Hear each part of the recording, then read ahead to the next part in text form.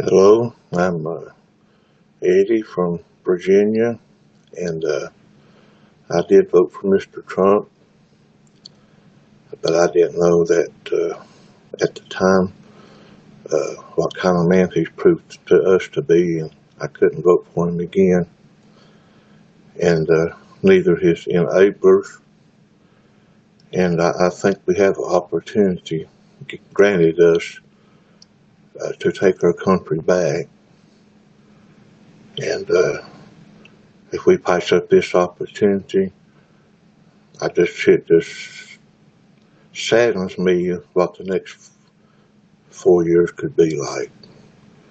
So I hope that this will be a enlightenment or encouragement to somebody.